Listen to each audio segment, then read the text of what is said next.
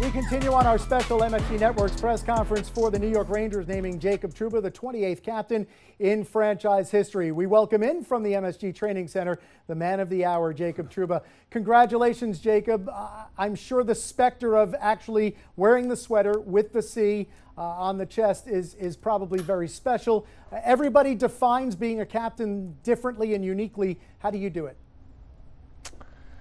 Uh, I think it's all about relationships and trust and, I mean, humility. There's, I mean, you could go a lot of one one words, but uh, having uh, genuine care for for your teammates and the people in the organization and the people in the locker room. I mean, that's uh, that's really what I think makes makes a good leader and someone that uh, people can follow on the ice, follow off the ice, and I mean, we have we have lots of good leaders, and everybody's going to need to continue to do their job. Jacob, going back to last season, before the season began or mid-season, going into playoffs, did you think about this as a possibility a lot? Was it on your radar? Uh, yeah, I mean, it's definitely something I've thought a lot about as even as a kid growing up. I think uh, leadership's always something I've tried to uh, keep developing and, and learn different ways, meet with, with new people, and try to keep those uh, those relationships open to, to continue learning. Um, when I first got here, I thought it was pretty clear to me Hank was Hank was the captain of this team, and as Hank uh, moved on, someone needed to step up and, and, take that that role. And like I said, we have a, a lot of good leaders, but uh, I think to to have a real competitive, solid team, this is a, a good step for for our organization to take, and I'm obviously grateful and honored that uh, they chose me. We had mentioned a little bit earlier your moment after game four when you lost 7 2 to the Penguins.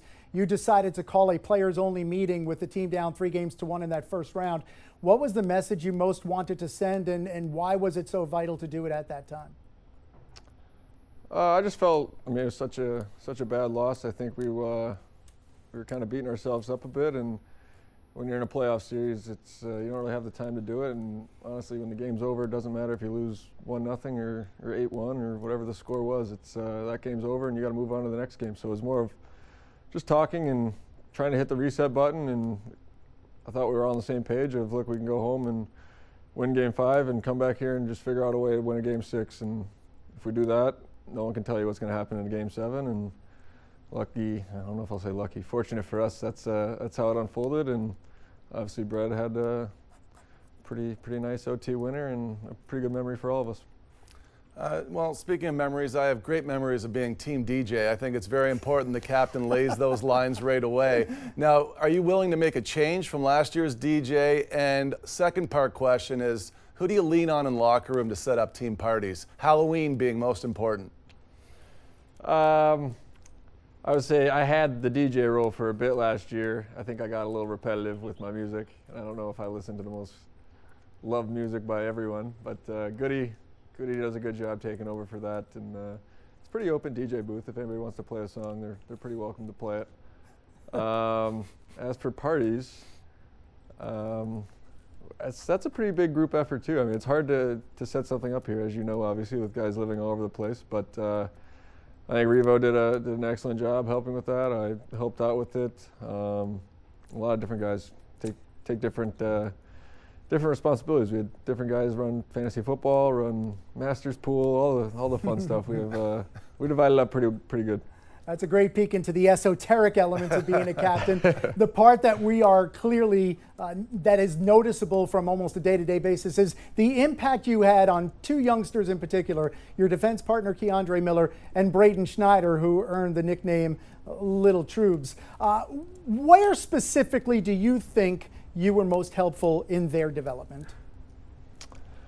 Uh, I mean, when I, when I kind of went on this uh, this journey of wanting to, to take on this role, I wanted to start with the D and build my relationship with the defensemen and show them I care about them and I want to help them. And that was something I was fortunate enough to have when I was a young player. Zach Bogosian opened his home to me uh, my first year, and I mean we're still best friends, but guys don't have to do that. I was talking to him yesterday, and like he didn't have to do that for me and look out for me that first year and even past the first year, but.